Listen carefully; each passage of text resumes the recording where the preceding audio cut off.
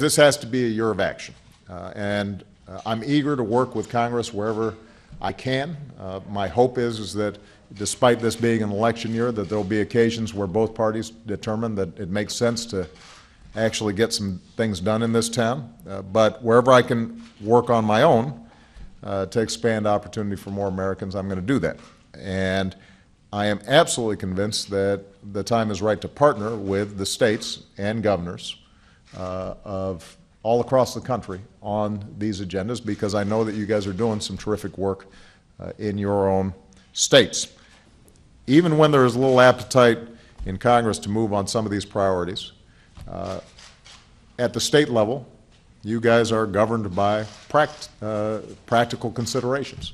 Uh, you want to do right by your people, and you see how good policy impacts your citizens, and you see how bad policy impacts your citizens. And that means that there's less room for uh, posturing and, and uh, politics and, and more room for getting stuff done. We want to work with you.